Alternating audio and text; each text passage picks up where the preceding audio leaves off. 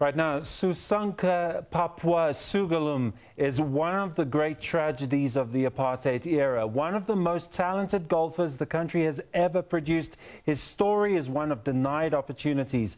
Sewgolum fought hatred with love. Tonight, we have the author, Selvan Naidoo, who's written a book about Sewgolum titled Out of the Rough. And we're also joined by Papwa's son, Rajen.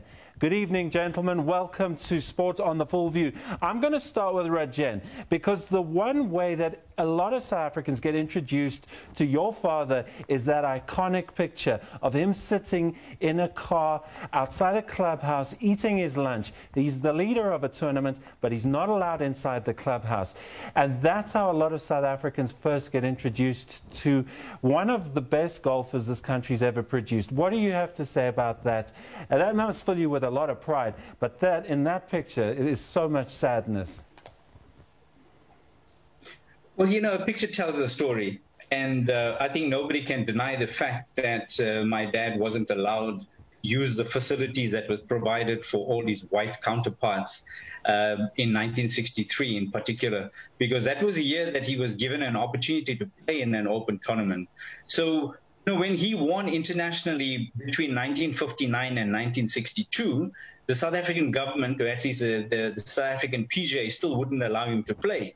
And when they eventually gave him an opportunity to play in 1963, they had to make some amends uh, by allowing him, firstly, because it was causing an international embarrassment because he had already won on the international platform. But more importantly, they had to make arrangements for him Group Areas Act wouldn't allow for certain things. Then there was the Liquors Act that wouldn't allow him into the uh, the clubhouse and use the facilities uh, as uh, you know. And then also he couldn't use the change room.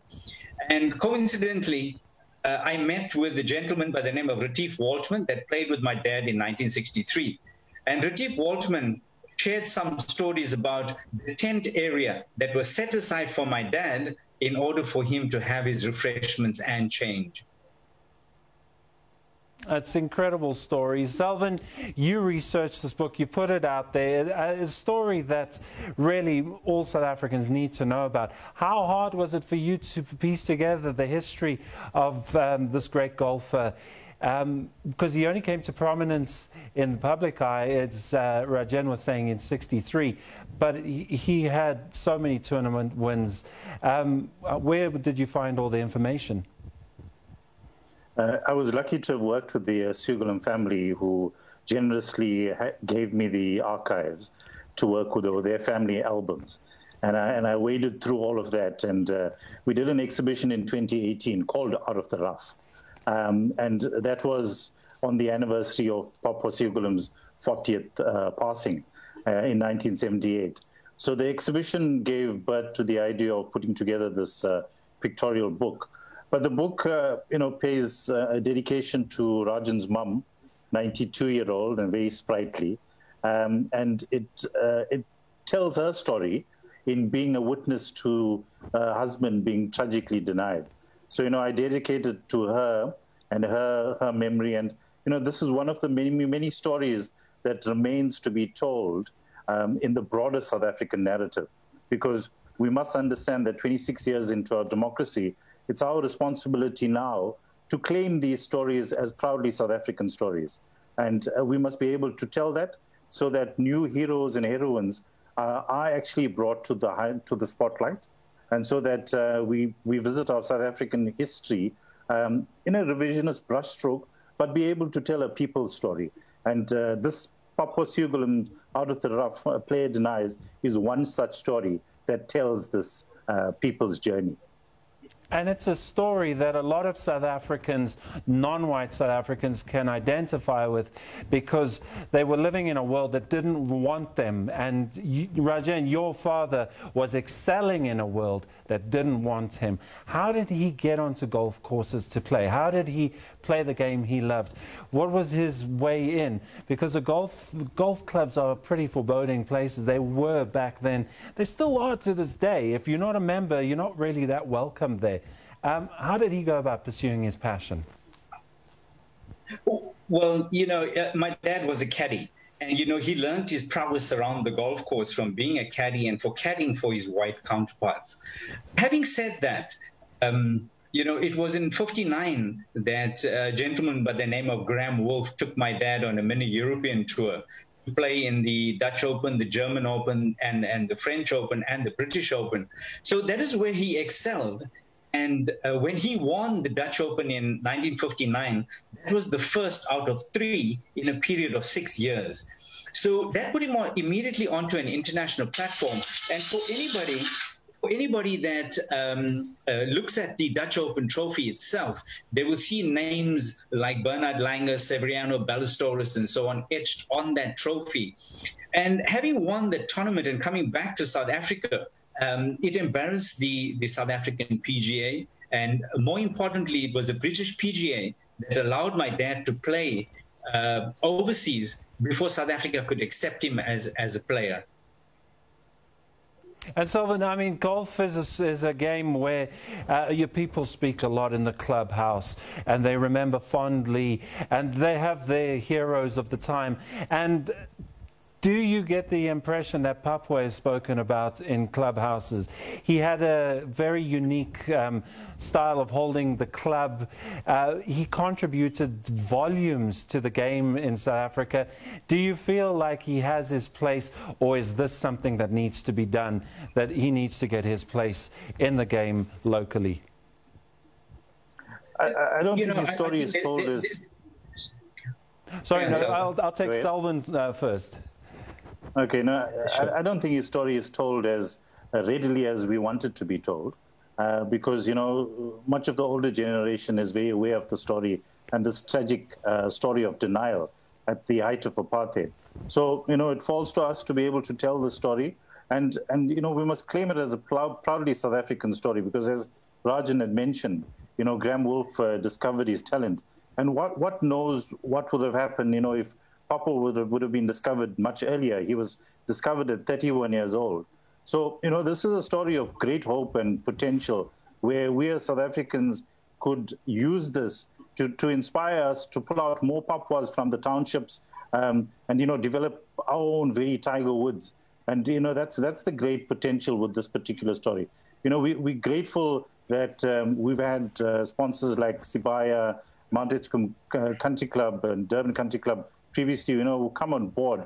So, you know, it lies, uh, the, this responsibility falls to the corporate world, falls to government, falls to us as, you know, amateur golfers uh, to be able to tell the story of not just Papwa Sewgolum, or people like Vincent Tshabalala, Richard uh, um, Simon Cox and Schlapo. You know, these are the great names that we ought to be telling in the, in the broad uh, South African history so that our children remember these names and be and be able to take these names and allow themselves to be inspired to grow to greater heights. And so that you know hopefully we we're able to produce that tiger woods that all of us once in south africa. Absolutely, and that's what golf in this country has been speaking about for years, is the development of golf. But now, Rajen, your father's hard work, the hard yards that he put in, does that mean a child from Phoenix, from Chatsworth, can go to the Mount Edgecombe Golf Club, can go to the Durban Country Club, and you know discover their passion? Are they welcome? Do you feel that way? there's a lot that needs to be done. And, you know, I just want to build on what Selvan said just now that, you know, at the height of apartheid, we produced far more playing professionals than we do now. And that is questionable because in in you know in in the years that my dad won internationally hasn't been a single person of color that has won in international tournaments subsequent to that. So it says a lot about firstly to answer your question yes the accessibility is there. I think a lot needs to be done in terms of the affordability. A lot of the um, the up and coming players find it quite difficult because it is quite costly to become a member of some of these clubs that you've mentioned. And you know, unless you play on championship golf courses, only then are you able to produce a champion. Absolutely. And Selvan, uh, you, you speak about that as well. Um, do you feel like South African golf is doing enough? Uh, because they do pay lip service. I'm being quite cynical when I say lip service, because it's a theme that happens at all the big tournaments. Um, that they say this, is, this much is going into development. But when is the next um, generation of South African golfers coming through? Um, do you see that happening, Selvan? Look, I think we it's very problematized. I think uh, transformation is not happening as uh, as fast as we want it to happen. You know, while we're proud of the Brandon Stones, the Dylan Frittellis, and so on, I think we also want to see you know more and more black golfers coming to the fore. And um, you know, it's not happening. But I think you know, there's as I said, you know, the responsibility falls to us. I think government needs to uh, intervene, and so does the corporate world. You know, golf's an expensive elitist game you know, on average, it costs you 500 rand to play on quality golf courses. So, you know, we've got to own this, and it uh, doesn't necessarily have to be a tick box exercise in ensuring that transformation is happening. And transformation needs to be real because, you know, the last golfer to win internationally was uh, Vincent Tshabalala, black golfer, in 1976. And Papwa was the last great golfer to actually finish 13th in the British Open of 1963. So, you know, that tells volumes in terms of where we are. And uh, there's so few black uh, professional golfers making it out, even in the South African uh, tour. You know, golf's a hard game. It requires a lot of dedication and effort. You've got to put in the yards. But uh, equally, we need um, government support. We need corporate support. We need individuals to come on board and see those kids from KwaMashu, Umlazi, Phoenix, Chatsworth, and so on uh, come to the fore so that uh, you know we develop. And, and equally, we need to see transformation in the schools. You know, uh, we can't just see it happening in the uh, old uh, ex-Model C schools. We want to see it in schools in the townships and so on. So maybe a little bit more investment and time in terms of developing super schools out in the townships. Um, and, you know, genuine schools where there's a lot of effort and so that those boys and girls are participating in, uh, against as equals, you know, against the sort of uh, Cliftons and the um, Kearsneys and the Northwoods and the Glenwoods and so on, so on, so that you know we could have real, real transformation, and, and it's not just lip service. So there's a lot of effort and time that needs to be put into these things, um, and not just uh, you know as uh, a way of uh, tick box. We need to make sure these things are real, and uh, we start seeing progress. And so a lot of that, that falls to us uh, in the years ahead and uh, access is one of it. I think uh, you know it's ridiculous that 26 years into a democracy, that not a lot of time and effort is gone into the municipal golf courses. Because I think if we develop and put a lot of effort into bringing some parity in terms of quality to the municipal courses, it'll encourage um, you know golfers that aren't able to afford uh, golf on quality courses. And if those municipal courses are actually developed to the level and quality of you know, your private courses, then at least we'd make this game a lot more accessible and at least be able to get more and more black youngsters. Um, and, and, and, and in this instance, it's a matter of class.